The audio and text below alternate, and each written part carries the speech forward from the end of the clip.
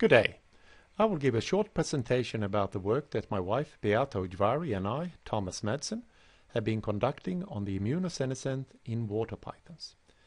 Age-related changes in immunocompetence may follow several different and sometimes opposing pathways. Some parts of the immune system, such as the ability to produce specific antibodies, decrease with increasing age, whereas the production of natural killer cells do not change during the aging process. Yet other parts of the immune system, such as the production of natural antibodies, often increase with increasing age. 30 water pythons ranging in age from 1 to 18 years were immunized with KLH protein. We found that the specific antibody titer to KLH decreased with increasing age, but that the natural antibody titer cross-reacting with KLH increased with increasing age.